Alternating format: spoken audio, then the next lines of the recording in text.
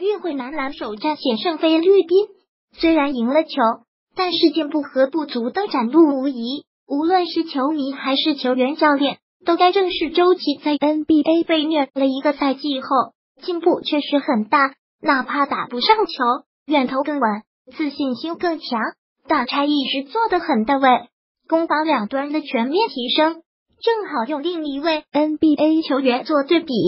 单看数据，起码打出了克拉克森的身价。P.S. 而且克拉克森是持球者王哲林。埃布杜沙拉木在关键时刻都堪当大任，王哲林不是深陷犯规危机，下半场应该更具威力。埃布机警，积极争关键先生，困扰男篮多年的问题依旧存在，惨不忍睹。关键时刻就崩盘的后卫线，赵继伟受伤，丁彦雨航膝盖伤病影响，状态不佳。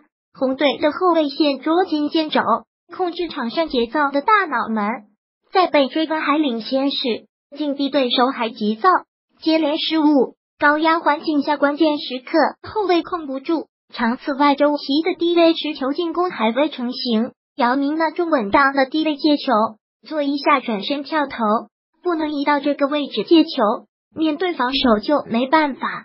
比赛中有多次对手眼保下的低位持球，周琦没有好的应对方法。NBA 火箭那边。也正在关注周琦的表现。莫雷社交平台给周琦打 call，虽然是洲际赛事，但周琦如果能延续如此表现，下赛季的机会就会更多。